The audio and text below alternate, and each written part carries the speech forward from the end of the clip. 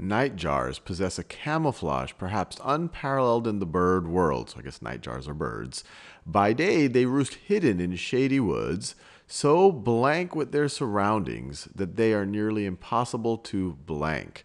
So before I even looked at the choices, they're telling us that these night bar, these nightjars, which are birds, they have a camouflage unparalleled in the bird world. So they're really good mixing in with their background. That's what that's what camouflage means.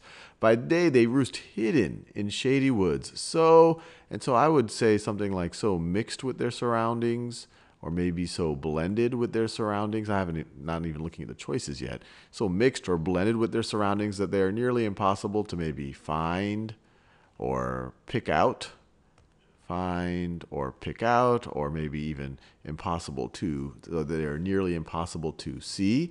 So those are the types of words that I would try to look for for these, for these blanks. And now let's look at the choices.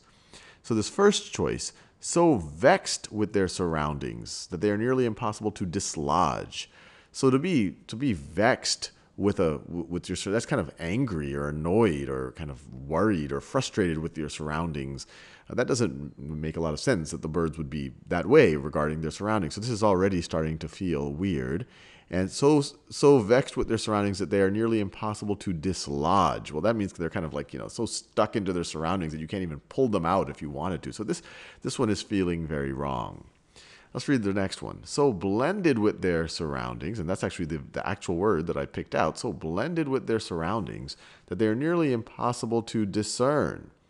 Well, discern really means to be able to kind of pick something out of its background, to see it out of its background. So it's, it's very similar in meaning to the words that I, I wanted to pick as is. So this looks like the choice that I would go. This looks already like the, the best choice, and we could read it.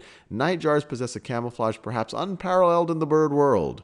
By day they roost hidden in shady woods, so blended with their surroundings that they are nearly impossible to discern. So that that that makes a lot of sense. But let's let's verify that these other ones aren't as good. So so harmonized with their surroundings that they're nearly impossible to interrupt. So harmonized isn't a horrible word here. It kind of means, you know, in sync with something. So maybe they're harmonized with their surroundings.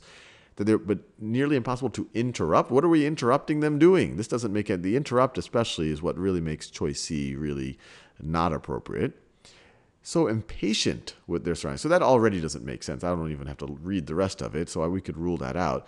Distinguish actually isn't a bad word for the second blank, that they are nearly impossible to distinguish. That kind of has the same type of meaning as discern or pick out or, or see Uh, relative to its background. But this impatient uh, was weird for this first blank. So impatient with their surroundings, that doesn't sound like a something that we how we would talk about a bird, a bird being impatient with its surroundings so integrated with its surroundings. So that's, you know, that's not bad. That's kind of like being mixed or blended. Being integrated means kind of so part of the surroundings that they are nearly impossible to classify.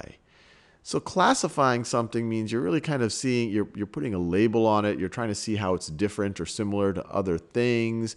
It's kind of like it has some connection to being able to see something or discern or find something, but it goes further. You're not only discerning it or seeing it, you're trying to kind of put it into a bucket. You're trying to classify it.